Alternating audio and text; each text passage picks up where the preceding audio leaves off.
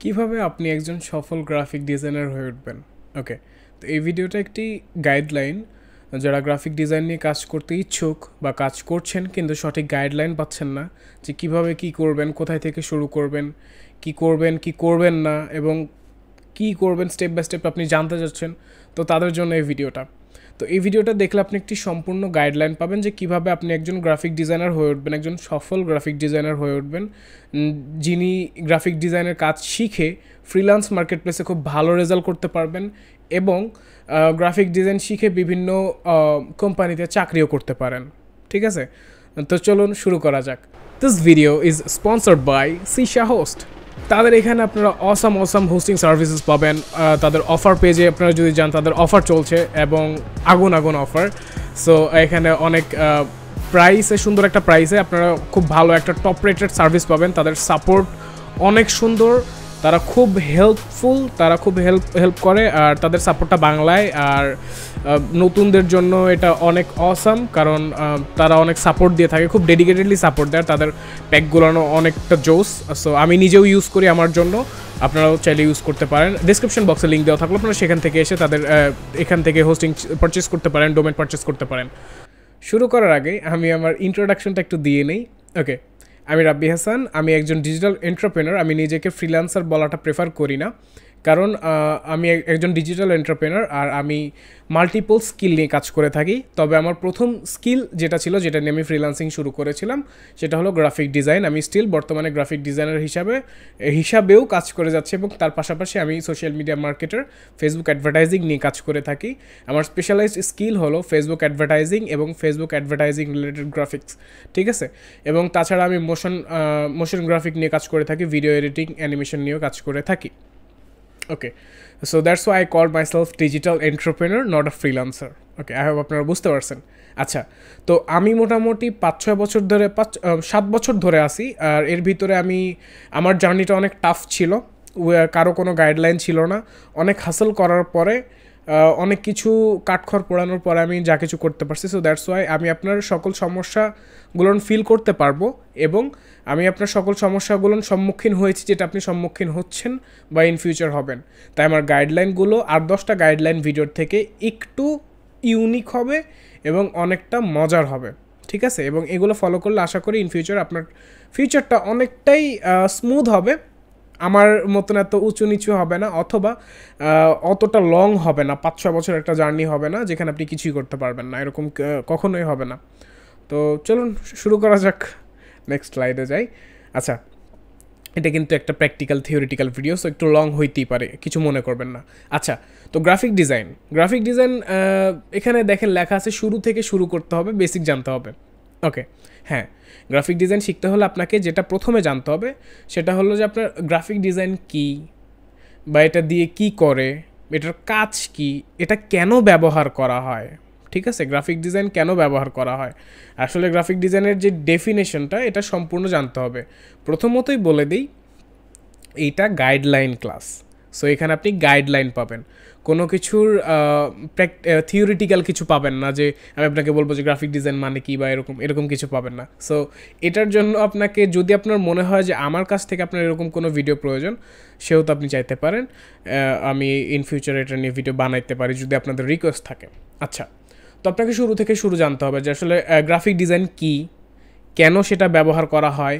কোথায় কোথায় ব্যবহার করা হয়, এটি ব্যবহার করার পিছনে মূল লক্ষ্যটা কি থাকে এবং গ্রাফিক ডিজাইন কতদিন থেকে ব্যবহার হয়ে আসছে, এর ব্যবহারটা কেমন কেমন জায়গায় করা হয়, ইত্যাদি ইত্যাদি, এই যে বেসিক জিনিসগুলান, এগুলা জানতে হবে। ঠিক আছে? তারপর আপনাকে বুঝতে হবে, আমি জাস্ট বেসিক আলোচনা করছি।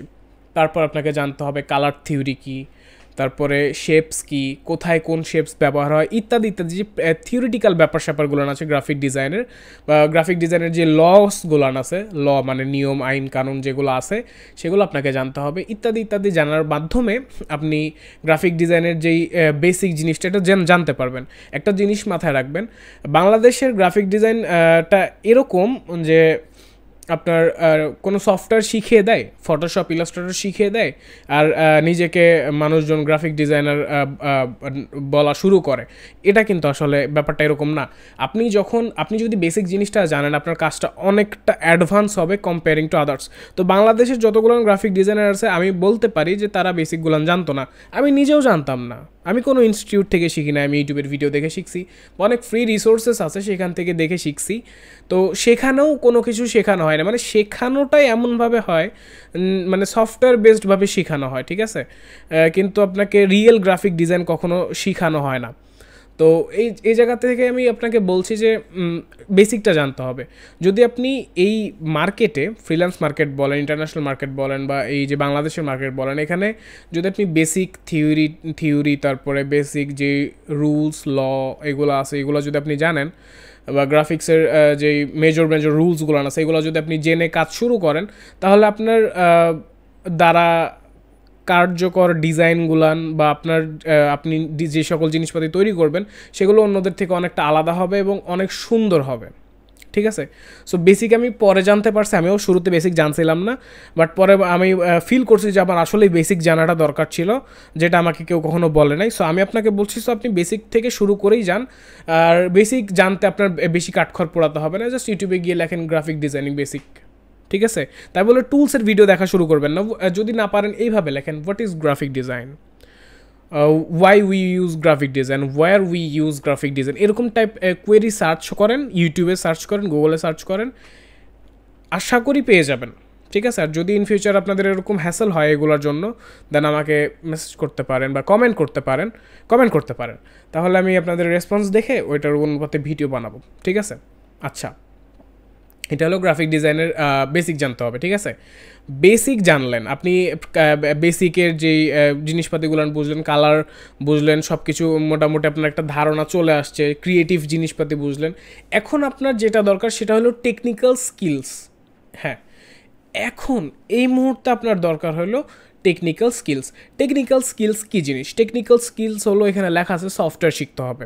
আচ্ছা এখন সফটওয়্যার আপনি কী কী শিখতে পারেন? গ্রাফিক ডিজাইনের জন্য পপুলার সফটওয়্যার হলো অ্যাডোব ইলাস্ট্রেটর অ্যাডোব ফটোশপ ঠিক আছে? তো বাংলাদেশে প্রিন্ট আইটেমের জন্য অ্যাডোব ইলাস্ট্রেটর বা লোগোর জন্য দুইটাই শিখতে হবে আপনাকে। আপনি যদি একজন গ্রাফিক ডিজাইনার হতে চান বেসিক পর্যায়ে আপনার টেকনিক্যাল স্কিলস হিসাবে দুইটা সফটওয়্যার আপনাকে শিখতে হবে। তাছাড়া যে শুধুমাত্র যে অ্যাডোব ইলাস্ট্রেটর এবং অ্যাডোব ফটোশপ বা অ্যাডোব ইনডিজাইনই যে এগুলার গ্রাফিক ডিজাইন সফটওয়্যার একদমই না। এগুলো ছাড়াও আরও অনেক গ্রাফিক ডিজাইন সফটওয়্যার আছে, যেমন কোরেলাইট ড্র আরও অনেক কিছু আছে যেগুলোর নাম আমার বর্তমানে মনে পড়ছে না। তো আপনাকে যে সফটওয়্যারই শিখেন খুব ভালোভাবে শিখতে হবে এবং এমন সফটওয়্যার শিখতে হবে যেটা দিয়ে আপনি প্রফেশনালি কাজ করতে পারবেন, ঠিক আছে? আপনি ফোনের, মোবাইলের অ্যাপের মাধ্যমে পিকচার দিয়ে ইয়া করবেন এবং সেটা দিয়ে আপনি নিজেকে গ্রাফিক ডিজাইনার বলবেন বা গ্রাফিক ডিজাইনের প্রজেক্ট কাজ করবেন, এরকম চিন্তাভাবনা করিয়েন, করেন না।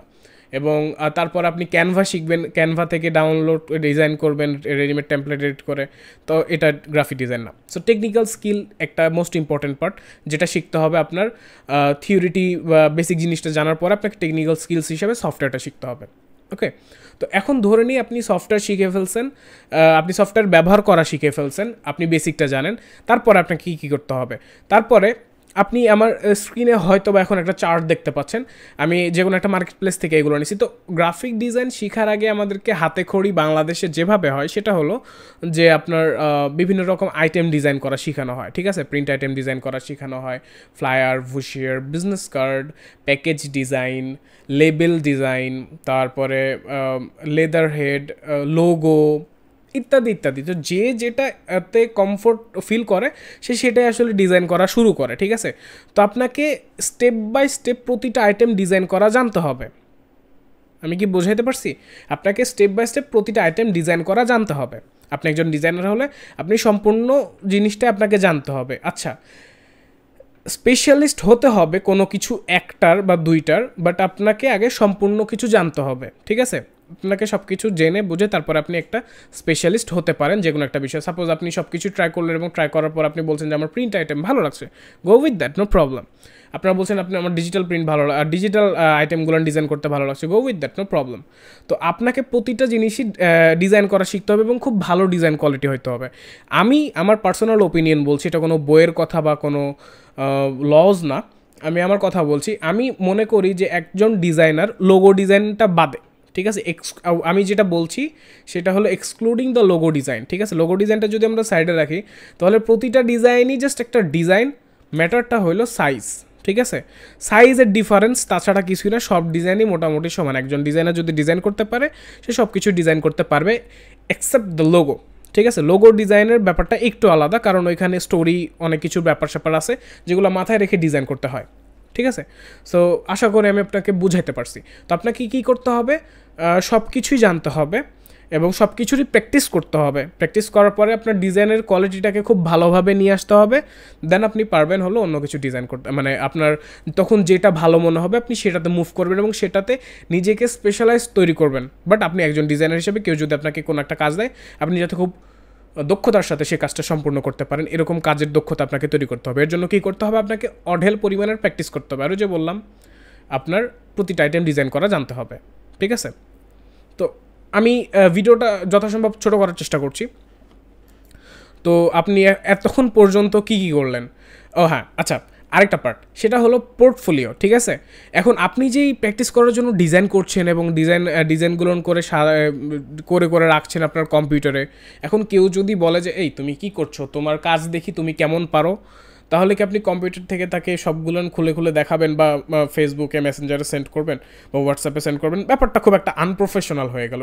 এইখানে সলিউশনের জন্য চলে আসে পোর্টফোলিও ঠিক আছে? তো পোর্টফোলিও কী জিনিস? পোর্টফোলিও হলো যেখানে আমরা আমাদের কাজগুলো সাজিয়ে রাখি। যেখানে আমরা আমাদের ডিজাইনগুলো সাজিয়ে রাখি, ঠিক আছে?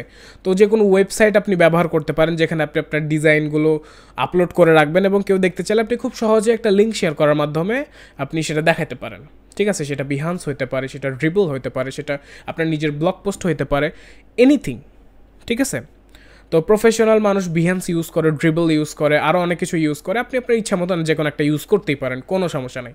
আপনি ব্লগ পোস্টও ইউজ করতে পারেন। আচ্ছা তো পোর্টফোলিওতে কোন কোন কাজগুলো, আপনি কি সব কাজ একাধারে করে দিবেন? না পোর্টফোলিওটা অনেক সিরিয়াসলি নেবেন। কারণ একটা জিনিস মনে রাখবেন পোর্টফোলিওতে ডিজাইনগুলো দেখার পরে কিন্তু ক্লায়েন্ট আসবে আপনার কাছে। পোর্টফোলিও কারা দেখতে চায় জানেন? ম্যাক্সিমাম টাইম পোর্টফোলিও ক্লায়েন্টরা দেখতে চায়। মানে যারা আপনাকে হায়ার করতে চায় বা আপনার আপনার কাছ থেকে কোনো ডিজাইন সার্ভিস কিনতে চায়, তারাই আপনার কাছ থেকে পোর্টফোলিওটা দেখতে চাইবে। যে দেখি তো তুমি কেমন কাজ করো, দেখি তোমার কাজের দক্ষতা কেমন বা তোমার কাজের স্টাইলটা কেমন, আমার ভালো লাগে কিনা, যদি ভালো লাগে তাহলে আমি অর্ডার করব। এর জন্যই মানে নাইনটি পার্সেন্ট টাইম নব্বই নব্বই শতাংশ টাইমই সময়ে আপনার ক্লায়েন্টরা এসে আপনার পোর্টফোলিও দেখতে চাবে। ঠিক আছে? সেটা দেশি হতে পারে, বিদেশি হতে পারে ডোন্ট মানে এটা কোনো ম্যাটার করে না। তো পোর্টফোলিও দেখতে চাবে। দেশি ক্লায়েন্ট হলে আগে পোর্টফোলিও দেখতে চাবে। আমি যখন নিজে কাউকে হায়ার করে, আমি আগে বলি যে, আপনার কি পোর্টফোলিও আছে কিনা? ঠিক আছে? আপনি আমাকে একটু দেখান। কারণ আমি তো তাকে পার্সোনালি চিনি না। আমি তার কাজ দেখব, তার কাজের স্টাইল দেখব। সে এরকম কাজ করতে পারে এরকম আমার মনে হলে আমি তাকে হায়ার করব আমার প্রজেক্টের জন্য। দ্যাটস ইট তো এইভাবেই। তো পোর্টফোলিও আপনাকে পোর্টফোলিও সাজায় রাখতে হবে ক্লায়েন্ট পাওয়ার জন্য বা কেউ যদি দেখতে চায় তাকে দেখানোর জন্য। এবং একটা একজন ডিজাইনারের জন্য এটা মাস্ট এটা খুব একটা গুরুত্বপূর্ণ বিষয়। আর পোর্টফোলিও তো কোন কোন ডিজাইনগুলান আপনি দিবেন? পোর্টফোলিওতে আপনি ডিজাইনগুলান দিবেন হলো যেটা সব থেকে বেস্ট ডিজাইন হলো আপনার নজরে, ঠিক আছে? এবং ডিজাইনটা অসাধারণ হয়েছে। এখন ডিজাইন যখন করবেন, আপনি বিভিন্ন ওয়েবসাইট থেকে কপি করে কপি কপি করে ডিজাইন করবেন এর দশটা ডিজাইন কপি করলে কিন্তু একটা, দুইটা ইউনিক আপনি নিজে থেকে এমনিই করতে পারবেন, ঠিক আছে? সো বেস্ট কাজটাই পোর্টফোলিওতে সবসময় শেয়ার করতে হয়। একটু হাইলাইট করেন বেস্ট কাজটাই সবসময় পোর্টফোলিওতে শেয়ার করতে হয়, যাতে ক্লায়েন্ট দেখে ওয়াও এরকম একটা ফিল চলে আসে। আশা করি আমি বুঝাতে পারছি। আচ্ছা তাহলে আমরা বেসিক শিখলাম। প্র্যাকটিক্যাল জিনিসপাতিও শিখলাম। আমরা টেকনিক্যাল স্কিল শিখলাম মানে সফটওয়্যার ইউজ করা শিখলাম। আমরা আমাদের কাজ করলাম মানে কাজ করে প্র্যাকটিস করে, আমরা আমাদের একটা পোর্টফোলিও করলাম, যেখানে আমরা আমাদের বেস্ট বেস্ট ডিজাইনগুলো আপলোড করে রাখলাম, ইত্যাদি ইত্যাদি। এখন কি? এখন হলো মার্কেট প্লেসে কাজ পাইতে হবে, যেটা আসলে সবার মূল লক্ষ্য, ঠিক আছে? যে মার্কেট প্লেসে কীভাবে কাজ করব বা কীভাবে কী করব। তো beginner friendly market place Fiverr আপনি ফাইবারে কাজ ফাইবার থেকে স্টার্ট করতে পারেন। তো সেখানে আপনাকে সেলিং করতে হবে বা সেল করতে হবে। সে আপনার তখন ফ্রিলান্স লাইফ শুরু হলো ফ্রিলান্সিং শুরু হলো তো ফাইবারে শাইন করার জন্য আপনার অবশ্যই স্কিল আপনি ফ্রি রিসোর্সেস থেকে শিখতেই পারেন, ঠিক আছে? আপনি ইউটিউবের ভিডিও দেখে শিখতে পারেন বা আপনি অন্যদের রিসোর্সেস দেখে শিখতে পারেন। বাট আপনাকে নিজের মানে এই ফাইবার বা আপওয়ার্ক বা কোনো মার্কেট প্লেস রিলেটেড কিছু করতে হলে আপনাকে অবশ্যই ওরকম ওই জায়গাতে কাজ করছে এরকম লোকজনের সাহায্য দরকার বা তাদের থেকে সেমভাবে গাইডলাইন দরকার বা সাপোর্ট দরকার, অন্যথায় সম্ভব না।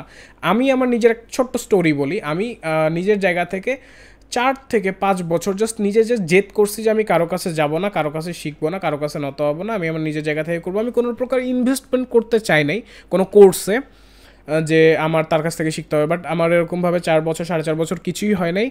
দেন আমি নিজের সাথে, নিজের জেদের সাথে হার মানার পরে আমি যখন কারও কাছ থেকে সাপোর্ট নেই, কারও কাছ থেকে গাইডলাইন দেন দেন আমার ফাইবারে ভালো কিছু হওয়া শুরু হয়েছে এবং আস্তে আস্তে আমি ফাইবারে মোটামুটি ভালো একটা এরিয়া দখল করতে পারছি এবং খুব দক্ষতার সাথে কাজ করে যাচ্ছি। তো এই, আপনার একটা গাইডলাইন দরকার, ঠিক আছে? তো গাইডলাইনের জন্য আপনি ইউটিউবের ভিডিও দেখতে পারেন বা আপনার যদি অন্য কোনো মেন্টর থাকে, আপনি মেন্টরকে ফলো করতে পারেন বা যাদের মেন্টর নেই বা যারা মেন্টর খুঁজছেন বা কেউ খুঁজেন আর কি বাট হ্যাঁ যদি মনে হয় যে আপনার ভালো একজন মেন্টর দরকার, সেহেতু আমার একটি personal Fiverr live course ongoing চলছে। আপনারা সেটা ইনরোল করতে পারেন, সেটা প্রি রেকর্ডেড কোর্স না, সেটা লাইভ একটি কোর্স সেখানে আপনি আমার সাথে কন্ট্যাক্ট করতে পারবেন, কথা বলতে পারবেন, প্রশ্ন করতে পারবেন। আপনার প্রয়োজন হলে আমি আপনার জিনিসপাতিগুলো আমি দেখব স্ক্রিন শেয়ার করব, আপনাকে হেল্প করব, ইত্যাদি ইত্যাদি, ঠিক আছে? তো এখানে আমার কোর্সটির নাম হলো ফাইবার নিনজা কোর্স আপনারা অলরেডি দেখতেই পাচ্ছেন। আমার ওয়েবসাইটে যাবেন, আমার ডিসক্রিপশন বক্সে লিঙ্ক দেওয়া থাকল। ওয়েবসাইটে যাবেন এবং এই যে কোর্স মডিউল কী কী শিখাবো ওখানে, ইত্যাদি ইত্যাদি সব কিছু দেখবেন এবং কোর্সের শেষে লাইভ সাপোর্টের একটি ব্যবস্থা রয়েছে। সো একদম পয়সা ওসুল ব্যাপার স্যাপার তো এই মার্কেট প্লেসে আপনাকে যে আমার আমার কোর্স আছে বলে যে আপনাকে কী কিনতে হবে এরকম কিছু না। বাট ভিজিট করে আসবেন কোর্স মরিউল্লা দেখে আসবেন, অনেক হেল্প হবে। আশা করি অনেক হেল্প হবে। আর এই সো এই আপনাকে এইভাবে কাজ করতে হবে আর মার্কেট প্লেসে কাজ করার জন্য অবশ্যই গাইডলাইন দরকার। সেটা আপনি ইউটিউব থেকে পেতে পারেন। অথবা আপনার যদি মনে হয় যে না ইউটিউব ইজ নট মানে এনাফ না, সবাই সেখানে ভালো কিছু শেয়ার করছে না মানে ডিপ কিছু শেয়ার করছে না, সেহেতু আপনি কোর্স এনরোল করতে পারেন। আমারও একটি ফাইবার প্লেলিস্ট আছে যেখানে আমি অনেক সিক্রেট সিক্রেট ব্যাপার আলোচনা করেছি, যেগুলো ইউটিউবের অন্য কোনো ভিডিওতে অন্য কোনো মেন্টরের ভিডিওতে আমি দেখি নাই বা পাই নাই, আমার সময় পাই নাই বা এখনও আমি পাই নাই। সো আমার প্লেলিস্টটা চেক করতে পারেন।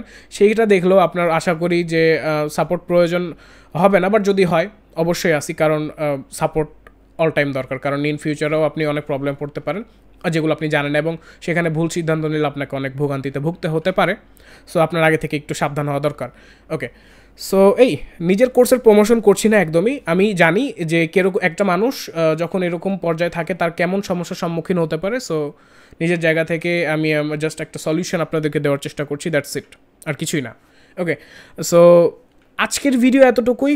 ওকে তো আশা করি আমি আপনাদেরকে সব কিছু সুন্দরভাবে বোঝাতে পেরেছি এবং একটি গাইডলাইন দিতে পারছি যে আপনি কীভাবে শুরু করবেন এবং কোন স্টেপে গিয়ে কি কি করবেন। আশা করি আপনিও খুব সুন্দরভাবে বুঝতে পারছেন। যদি বুঝতে না পারেন, তাহলে কমেন্ট বক্সে কমেন্ট করে আপনার প্রশ্নটি করতে পারেন। আমি আপনার কমেন্টের অ্যান্সার দেবো আর আমি প্রতিটা কমেন্টেরই অ্যান্সার দিই, যেটাতে প্রশ্ন থাকে, ঠিক আছে? আর এই হলো আমার চ্যানেল যারা এখনও সাবস্ক্রাইব করেন সাবস্ক্রাইব করে ফেলেন, কারণ আপনাদের জন্য অনেক হেল্পফুল হেল্পফুল কন্টেন্ট আমি অলরেডি বানিয়ে ফেলছি, বানাচ্ছি, বানাতে থাকব। জাস্ট আমার যেটা দরকার, সেটা হলো আপনাদের সাপোর্ট আপনারা সাপোর্ট করবেন আপনারা কন্টেন্টের রিকোয়েস্ট করবেন যে, ভাই, এটার উপর কন্টেন্ট দরকার, এটার উপর কন্টেন্ট দরকার। আমি অবশ্যই আপনাদের রিকোয়েস্ট রাখব, ঠিক আছে? তো আজকের জন্য এতটুকুই। সবাই ভালো থাকবেন, সুস্থ থাকবেন। পরবর্তী ভিডিও দেখার আমন্ত্রণ রইল। পরবর্তীতে আমরা ডিজিটাল মার্কেটিং আরও ইত্যাদি ইত্যাদি, আমি যে কাজগুলো করি, আমি সেই কাজগুলোর উপর গাইডলাইন নিয়ে ভিডিও তৈরি করব। So stay tuned with me thank you so much season bye bye